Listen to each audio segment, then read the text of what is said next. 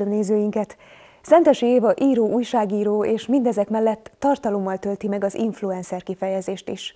Írásaival, online bejegyzéseivel az egyik legdrágábbat adja követőinek, a reményt. Miközben az életért küzdött, a ményakrák elleni küzdelem arcává vált úgy, hogy a nők ezrei győzte meg arról, hogy jobban figyeljenek testi, lelki egészségükre. Nemrég jelent meg a Merkura Retrográdban című kötete, mely egyfajta látlelet arról, hogyan értelmezi magát egy nő a 2020-as években gyerek nélkül. Szentesi Éva budapesti lakásában fogadott bennünket.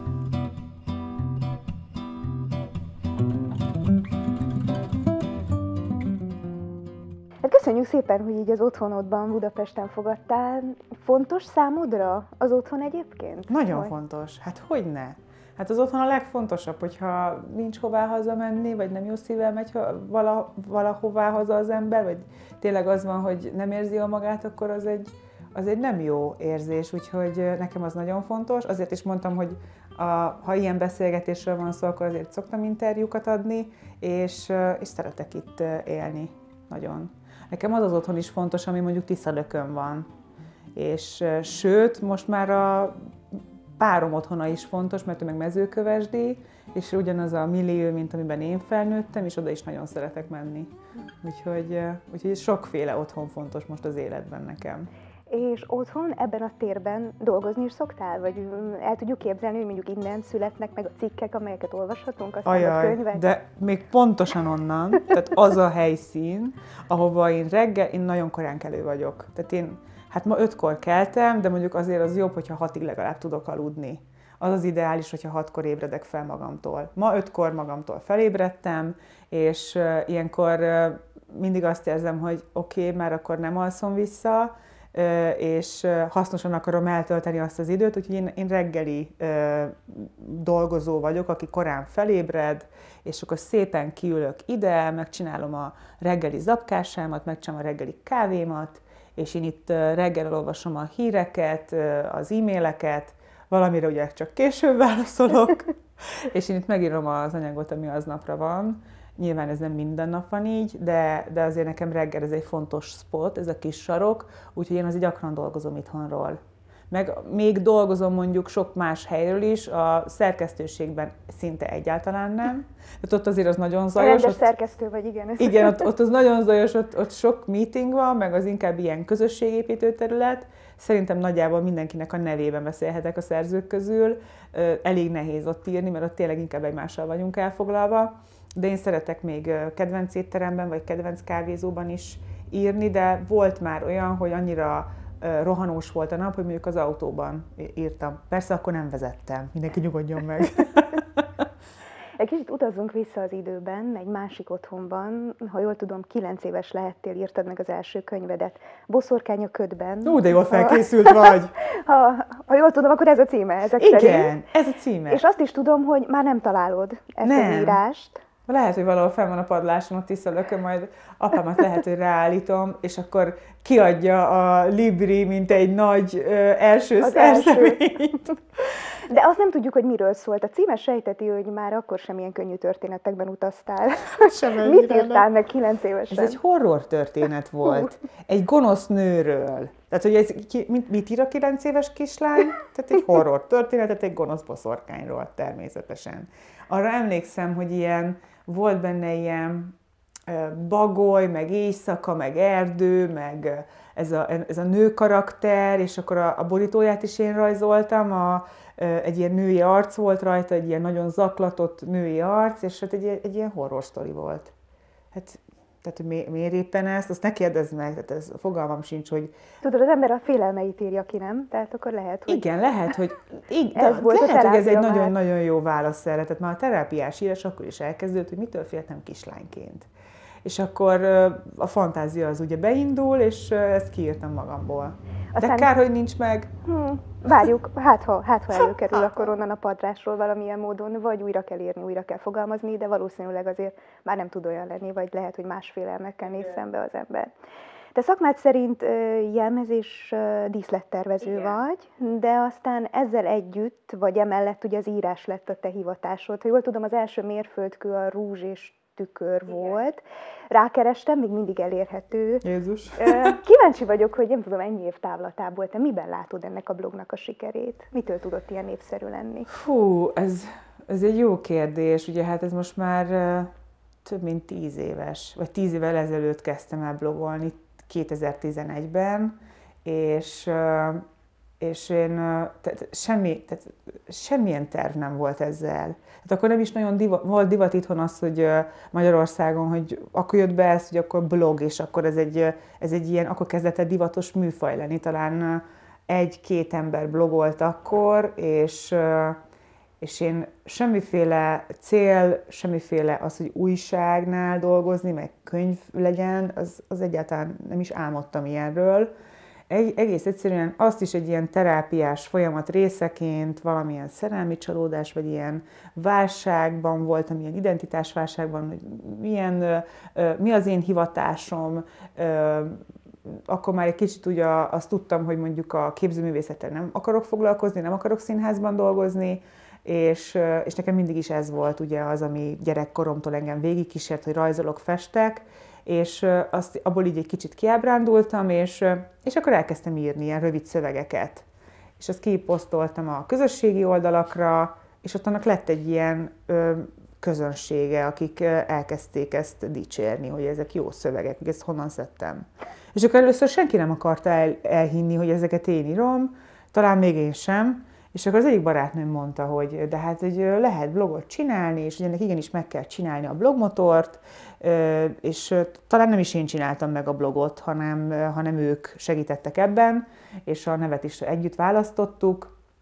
És gyakorlatilag a sikere az szerintem az lehetett, hogy, hogy egyrészt rövid szövegek voltak, tehát hogy amikor így bejön a közösségi média, és pont ez volt a, a közösségi médiának a, a lényege, amikor elkezdesz gyorsan fogyasztani valamit, és hogy nem akarsz hosszú tartalmat végigolvasni, ugye ez a social médiában lett, lettem én, gyakorlatilag ott építettem fel a közönségemet, és valahogy ráéreztem ennek az ízére, hogy hogyan lehet olyan szövegeket, olyan tartalmat gyártani, amit könnyen tud fogyasztani az olvasó. Könnyű, érthető, még akkor is, hogyha mondjuk nehéz témáról van szó, és talán ez lett a, ez lett a sikere, meg az, hogy mondjuk a téma az abszolút ilyen szerelmi csalódás, párkapcsolat, szerelem, szerelmi szenvedés, tehát hogy így, e, ez így azért meg tudta szólítani a nőket, meg azt a, az ilyen válságban lévő közeget, akik nem találják a helyüket, és valahogy így indult a közösség ebből. Valahogy ez az érzésem, amikor olvasom a könyveidet, vagy a cikkeidet, hogy hogy te arról a valóságról írsz, amelyet úgy megpróbálnánk eltitkolni magunk elől, vagy nagyon rajta vagyunk ezen az ügyön, aztán te így valahogy ajtót nyitasz a valóságra. Nálad mindig nyitva van ez az ajtó? Vagy, vagy Igen, néha be kéne csukni. Jó lenne, már mondták páran. Pont a múltkor volt egy íróolvasó találkozom Tiszalökön a, a szülőhelyemen, és ott odajött egy hát egy, egy ilyen 60 körüli nagyon helyes, kedves nő, aki azt mondta, hogy tudod, miért szeretünk mi téged olvasni? És tudod, mi a te sikered? Az, hogy mi is ugyanezeket éljük, meg mi is ugyanezeket gondoljuk, csak mi nem, merünk, nem merjük ezeket kimondani. És hogy te kimondott helyettünk, és ezért szeretünk olvasni téged. És hogy azért ez, ez egy tényleg egy nagyon kitárulkozó műfaj, amit én csinálok, még akkor is, hogyha mondjuk elbeszélőnek a szájába adom azt, amit mondjuk megfogalmazok, de hogy ez mégiscsak egy ilyen nagyon kitárulkozó műfaj, és én valahogy az, azt gondolom az írásról, vagy nekem az írás az azt jelenti, hogy, hogy szerintem, ha van egy hely, ahol nem lehet hazudni, az az, az a hely nekem, számomra. Tehát, ott, ott nem lehet hazudni, nem mint hogyha az élet más területén nagyon kamuznék, de hogy mondjuk mégis, hogyha most csak egy nagyon egyszerű példát mondok, mondjuk, hogyha elmegyünk valahová, egy, egy szép helyre, akkor nem feltétlenül mondja ki az ember azokat a dolgokat, amiket gondol. És nekem az írás az egy abszolút szabadság, mert ott meg, ott meg kimondhatok bármit. Még azt is, amit mondjuk nem vállalnék feltétlenül, ott nem kell viselkedni. Ott, ott tényleg azt csinálhatom, amit, amit akarok, és ott elmondhatom azokat a gondolatokat is, akár egy közvetítőn keresztül, amik mondjuk mondjuk egy karakterépítésnél megfogalmazódnak bizonyos emberekben, amik nem feltétlenül vagyok én, de hát rengeteg ember gondolkodik úgy, mint néhány karakterem, és nekem ez egy óriási szabadság. Tehát, hogy nekem, nekem ezt jelenti az írás, én, Én sose gondoltam azt, hogy máshogy kellene írni. Én, én ebben a műfajban érzem jól magam, és, és az is egy nagyon fontos szempont, hogy ez, ez egy könnyen érthető és könnyen fogyasztható legyen. Tehát, hogy ezt, ezt el lehessen olvasni viszonylag rövid idő alatt, átmenjen, mégis üssön, úgyhogy nekem, nekem ezt jelenti, és, és talán, talán az olvasók ezért is szeretik ezeket a szövegeket. Egyébként mindig mindent lemersz írni, vagy, vagy cenzúráz magad ebben a burokban, az írás burkában? Hát nem is tudom, most azon gondolkodom, hogy cenzúráztam-e valaha magam. Hát talán igen, azért vannak rajta finomítások. Nyilván kell egy jó szerkesztő. Tehát azért én, én nagyon szeretek szerkesztőkkel együtt dolgozni, mert, mert soha nem sértődöm meg. Tehát, hogyha kihúzzák a könyvnek az egyharmadát vagy a felét, akkor se sértődöm meg, mert hogy ugye az a cél egy, egy például egy könyvnél, hogy ez minél jobb legyen. És hogy egyrészt nem gondolom magam annyira nagy mesternek, mert egy, egy, elég fiatal vagyok még mondjuk a szakmában, amúgy nem.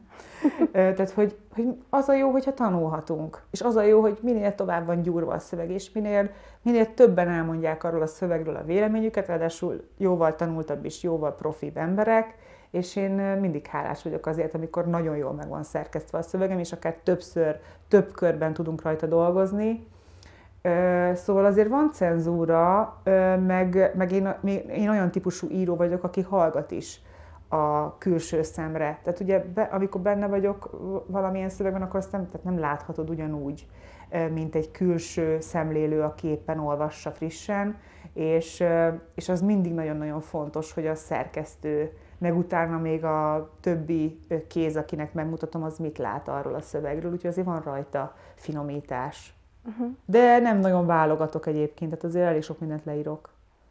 És valahol olyan szomorú az, hogy, hogy ez a ritka, hogy, hogy valaki őszinte és lemeri írni az Igen. érzéseit, vagy, vagy meri láttatni ezt a realitást. Mert nem tudom, te mit gondolsz erről, hogy vajon miért alakul így az életünk, hogy így az online térben azt mutatjuk, hogy ha, ha gyermek jön, akkor az úgy a legnemesebb, hogy onnantól kezdve nem lesznek rossz napjaid, vagy a házasság is csupa, a boldogság is rózsaszín felhő.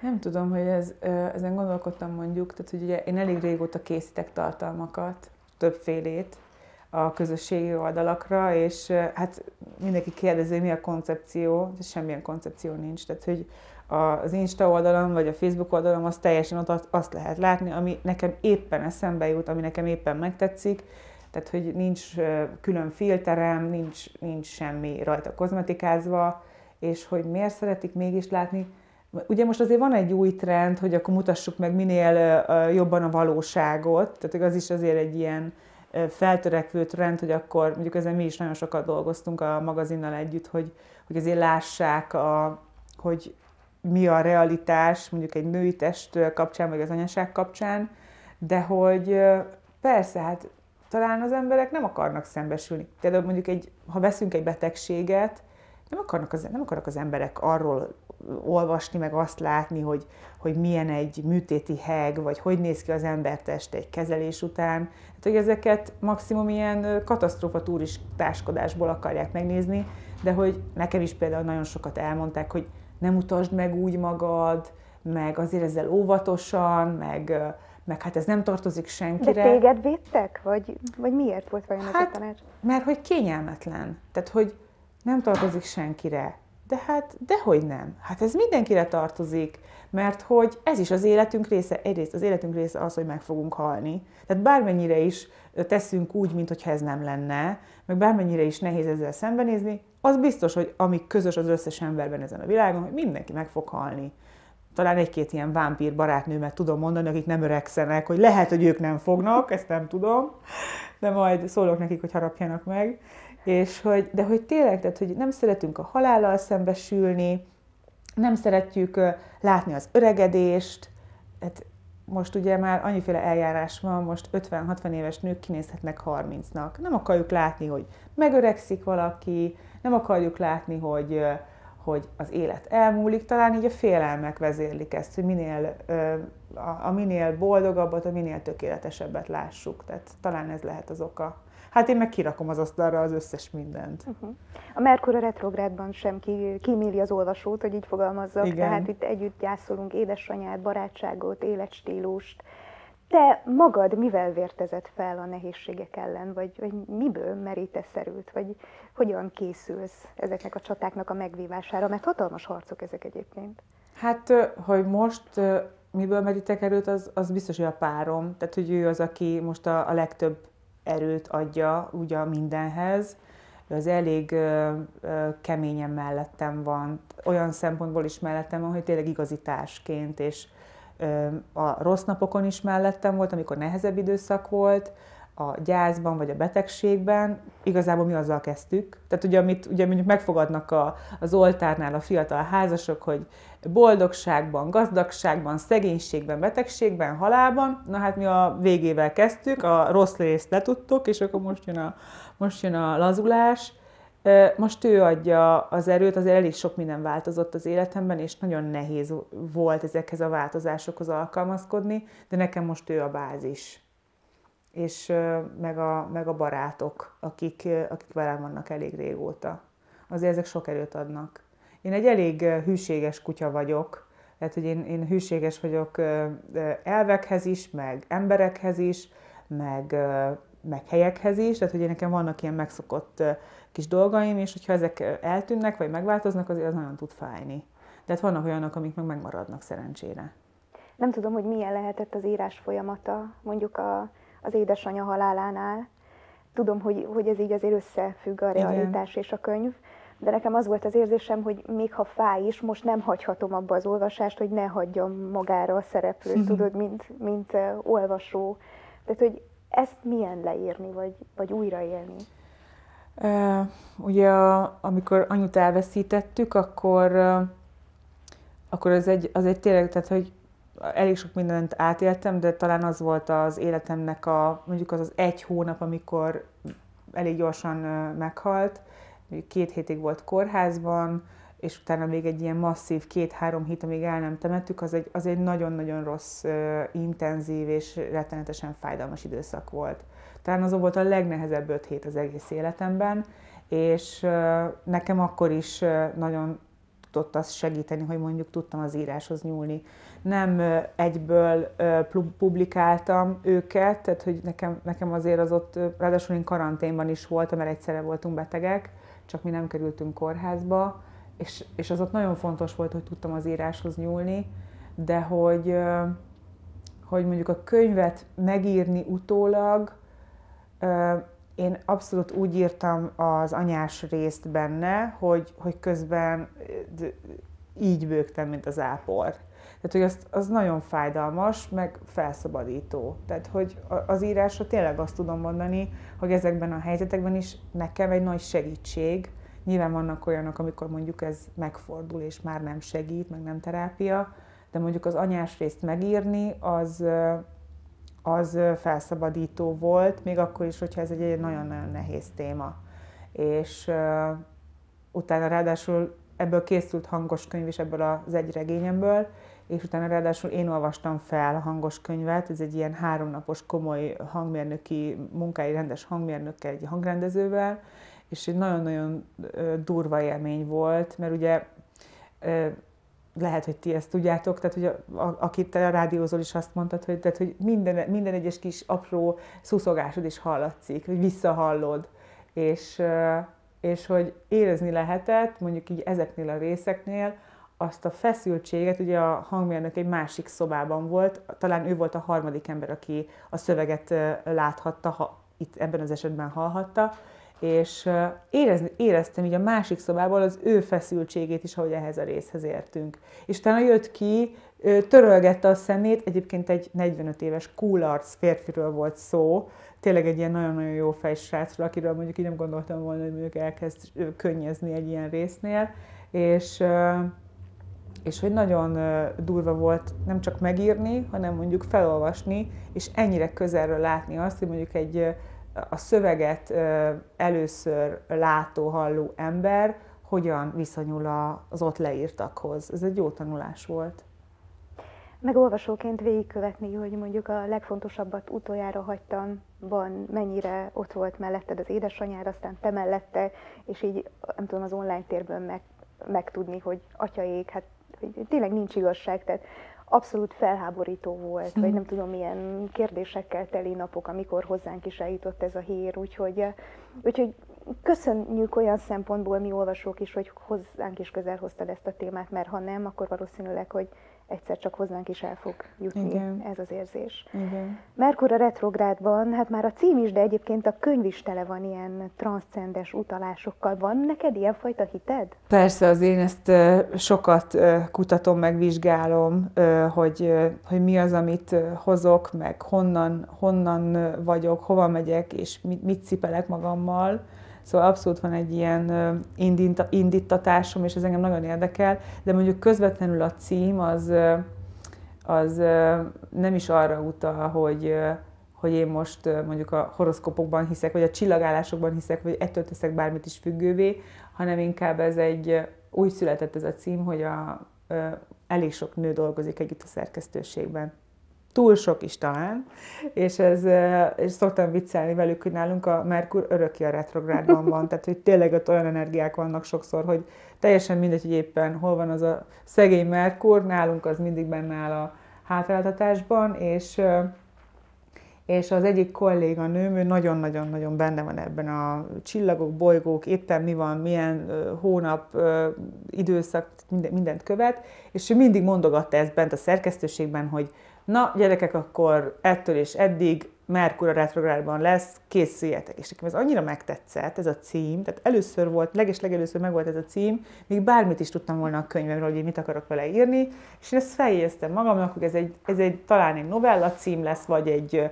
vagy egy esetleg egy könyvnek a címe. És akkor ezzel a munkacímmel elindult a, a jegyzet, jegyzetelés, meg a kéziratnak a felépítése, és és aztán a kiadónak annyira megtetszett, hogy azt mondta, hogy ez ne csak egy munkacím legyen, hanem akkor ebből lehet akkor egy rendes, valós cím, és és hát igazából fogalmam is mi volt a kérdés, most már mire válaszoltam. Hogy, hogy, hogy hiszel el transzcendenciában, tehát a hétköznapokban mennyire határoz ez meg téged? Hát... Vagy tanulod-e magad? Tanulom, egy, egyfolytában, persze, egyfolytában tanulom. és nyilván nem csak arra hagyatkozva akkor, hogy mit ír a horoszkóp. És Abszolút nem csak arra hagyatkozva. Tanulom magam egyfolytában, de nem, azért nem ez határozza meg az életem. Tehát ez nem, nem az a jellemző, hogy akkor most megírják, hogy mondjuk ebben a hónapban éppen mi lesz, és ja, akkor erre számítok, hanem azért szeretem azt hinni, mondjuk én is befolyással vagyok az életemre. Most mondok egy néhány számodra ismeretlen nevet, jó, azért mert megígértem. Zsú, Niki, Ildikó és Orsi, barátnőim, akik üdvözölnek téged. Jaj, de aranyosak! Annyira örültek, hogy, hogy lehetek én a hírvívő, aki találkozik vele. Én is üdvözlöm őket! Jaj, de jó, akkor ezt rögzítettük most. És és közben pedig az jutott eszembe, hogy, hogy milyen felelősség lehet ez, hogy, hogy tényleg emberek követnek, az az érzésük, hogy ismernek téged, hogy, hogy adnak a szabadra, hogy általad kezdik el látni a világot, és értékrendet teremteni. Ajaj. Újságíróként nem akartalak megijeszteni, újságíróként, íróként, tehát hogy vajon, vajon mi lehet a felelősséged ebben a realitásra való ajtónyitogatásban? Hát azért az, azt én nagyon fontosnak tartom, hogy, hogy legyen, tehát, hogy lehet bohóckodni, meg, meg szórakozni, meg a közösségi médiát sok mindenre használni, de azért tényleg, ahogy te is mondod, ez egy felelősség, meg az írás is felelősség.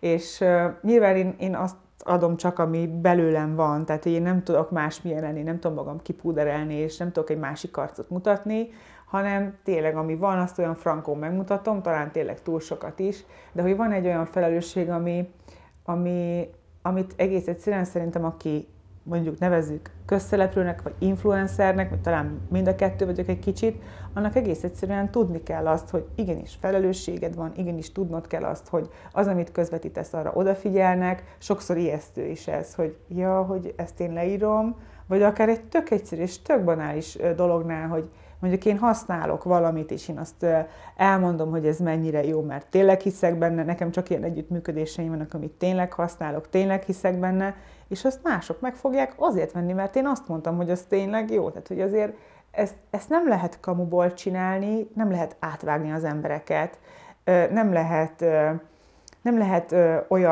olyat, elvállalni, ami, ami kamu, ami nem igaz, amit nem is használsz, ami nem is a tiéd, és muszáj, hogy valamiféle társadalmi felelősséget, felelősségvállalásod is legyen, mondjuk a kirakatba rakva, mert hogy például most az autisztikártal, egy autista alapítványjal, az egyik legnagyobbak itthon együtt dolgozunk, azért, mert ők pont így a művészeten keresztül próbálják megmutatni azokat az embereket, akiket mondjuk nagyon kevesen értenek.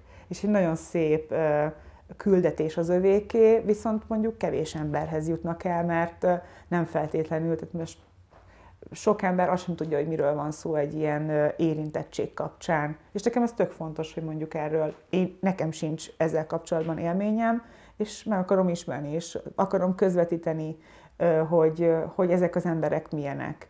Vagy, vagy akár társadalmi ügyek mellé odaállni, akár az oktatás kapcsán, most ugye egy sláger téma, hol vagy te ebben, hogyan fogalmazod meg a világ történéseiről a gondolataidat, akár csak mondjuk egy rövid kiírásban, ezek mind rettenetesen fontos dolgok, és egész egyszerűen nem lehet csak annak élni, hogy oké, okay, közszereplő vagyok, influencer vagyok, nagyon sokan követnek, ilyen szép vagyok, olyan jó ruhában vagyok, ennyire csillogok, itt vagyok, ott vagyok. Nem csak erről szól az élet, hanem van benne felelősség is, és szerintem aki ezt kihagyja belőle, az, az most nem mondom azt, hogy hibát követel, de talán valamilyen szinten hibát követel, mert, mert kell, hogy legyen felelősségvállalás, és mondjuk ezt a felelősségvállalást ne csak azért csinálja valaki, mert jól mutat az Insta feedben, hanem meg hogy másoknál is mennyire bejött, hogy akkor én odaálltam egy jó ügy mellé, hanem tényleg igazán tiszta szívből tegye azt, és igazán tiszta szívből álljon oda. Például én minden áprilisban felveszem a sárga nárciszt, a, a Hospice alapítványnak a sárga nárciszát, és, és akkor arról van egy nagy kampány, hogy viselj te is nárciszt, mert a Hospice az egy olyan munkát végez, ami egy, egy rettenetesen nehéz és összetett munka, az élet végén kísérik el azokat az embereket, akik nem tudnak meggyógyulni, mentális és fizikai támogatást is adnak nekik, és nekem a, a hospice egy, egy kimondatlan szerződésünk van egymással, hogy bármilyen megmozdulásuk van, én abban segítem őket. Például mondjuk rákedukációs kampányt már egyáltalán nem vállalok, meg próbálok így a ráktól elszakadni egy ilyen tudatos döntés kapcsán, ők pedig megkértek arra, hogy jövő tavasszal lesz egy edukatív napuk, ahol szakembereket szeretnének tovább képezni abban, hogy hogyan tudjanak érzékenyebben állni a betegekhez. És én, mint betegséget túlélő kíváncsiak az előadásomra, és ezt például elvállaltam, mert ezt fontosnak tartom. Szóval ezek, ezek kihagyhatatlan részek, és jó lenne, hogyha mondjuk egy ilyen felelősséggel tudna élni több influencer vagy több közéleti szereplő, mert ezek szerintem fontosak. Bizony, és tudsz lenni egy ellenpólus, tehát hogy, is fogalmazok, a sok szemét között, mert azért a Merkur retrográdban is úgy megvan a recept, hogy hogyan lehet valaki celeb, ugye Hát az egy nagyon könnyű. Hát persze, Igen. tehát hogy most tényleg az összes, az összes ilyen műsorba elhívtak. Tehát elhívtak a dzsungeles műsorba, a Survivor-től elkezdve, tehát hogy az összeset végig tudnám sorolni, mindegyikbe elhívtak, de hogy tudnom kell azt, hogy én ki vagyok. Én nem egy olyan ember vagyok, aki a, olyan ö, cikkeket akar magáról látni a, a bulvárban, amik, amik tehát amik végtelenül kellemetlenek. Én, én nem ez az ember vagyok, én meghatároztam magam, én nem akarok ilyen műsorban szerepelni, még akkor sem, hogy elmondták, hogy de hát akkor mennyi követőd lenne, de hát akkor mennyien olvasnák a könyveidet, de hát annyit nem ér az egész. Mert hogy én nem az az ember vagyok, aki egy ilyen műsorban szerepel. Én egy olyan ember vagyok, akinek van felülete, ott tud szólni azokhoz a követőkhöz. És teljes, tehát igazából becsapnám őket azzal, ha én elmennék a dzsungelbe bogarakat enni, vagy nem tudom miket enni, vagy mit kell csinálni, mert hogy egyrészt mondjuk vagyok annyira tudatos, hogy nem teszem ki a testem egy ilyen megpróbáltatásnak, mert teljesen hiteltelen lenne rák túlélőként egy ilyen egészségügyi kockázatnak kitenni magam. Másrészt én nem egy celeb vagyok, hanem én egy író vagyok, aki magazinokban is publikál, és könyveket ír, és ez az élet célja, hogy könyveket publikáljon, minél jobban, minél többet tanuljon erről a szakmáról, és nem mehetek el ö, trash műsorokba szerepelni, mert akkor azt érezni az engem követő és az engem olvasó ember, hogy hát átvágtál engem, hiszen nem is ez vagy, és tényleg nem is az vagyok. Most elhiszem, hogy néhány ö, ö, embernek ez fontos, vagy azoknak, akik elmennek egy ilyen helyre, azoknak ez fontos, vagy azoknak ez megéri. Szerintem ezt mindig súlyozni kell, hogy én ki vagyok, én mihez adom a nevem, és, és ahhoz tartani magunkat. Köszönjük neked egyébként, hogy, hogy kimered mondani azt, amit mi nem merünk, és ilyen aha élményünk tud lenni téged olvasva. De azért látod ugye a jó dolgokat is, tehát azért vannak jó dolgok körülötted. Persze, ugye? hát hogy ne lennének? nem tudom, mikor nevettél egy jót utoljára, vagy szoktál-e nagyokat nevetni? Ez, ez hogy ne? Hát reggel. Persze, azért, azért szoktam. Azért még, még egy tanácsot kérnénk szépen, hogy, hogy akkor mit tegyünk tényleg, hogyha ez a Fránya Merkura retrográdban van, vagy úgy, úgy érezzük. Semmit ugyanúgy kell csinálni minden tovább. ugyanúgy kell csinálni, semmit, semmit nem kell csinálni, nem kell, nem kell ettől félni, semmiképp sem szabad tőle. Hm. És még egy valamivel felvérteztél, hogy merjük vállalni, ha gyengék vagyunk, vagy ha fáj. Így igaz. Így igaz. Az egyáltalán nem szégyen. Igen, nem vagyunk kisebbek ettől. Nem. Sőt. Köszönöm szépen idődet, türelmedet és a Köszönöm szépen.